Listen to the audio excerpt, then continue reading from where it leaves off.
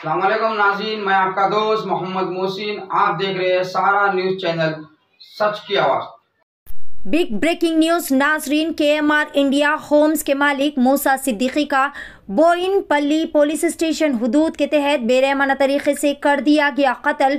वाजह है कि पिछले कुछ दिनों से कंट्रोवर्सी से घिरे रहने वाले के एम आर हाउसिंग वेंचर के चेयरमैन मूसा सिद्दीकी का सोआराम में बेरहमाना तरीके से कत्ल कर दिया गया।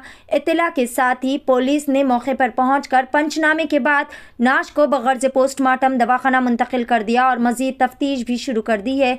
इतला मिली है कि पुलिस ने इस कत्ल केस में मुलविस एक कातिल को भी गिरफ्तार कर लिया है कत्ल की वजूहत का ताहम कुछ भी पता नहीं चल पाया है तमाम तर तफसीलात का अभी इंतज़ार है ఈరోజు ఈ ఆరున్నర ప్రాంతం సాయంత్రం ఈ మూసా సిద్దికి అనే వ్యక్తి రియల్ ఎస్టేట్ బిజినెస్ చేస్తాడు అతను డబ్బుల విషయంలో ఈ లావాదేవీల విషయంలో ఈ ఫయాజుద్దీన్ దగ్గరికి వాళ్ళ ఇంటికి వచ్చిండు వచ్చిన తర్వాత ఈ డబ్బుల విషయంలో ఇతను ఇవ్వాల్సిన డబ్బుల గురించి వాళ్ళిద్దరి మధ్య డిస్కషన్ జరిగింది.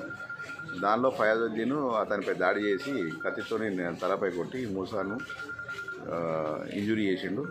అతను ఇమీడియట్గా ఇక్కడ నుంచి హాస్పిటల్ షిఫ్ట్ చేస్తే మల్లారెడ్డి హాస్పిటల్లో చనిపోయిండు.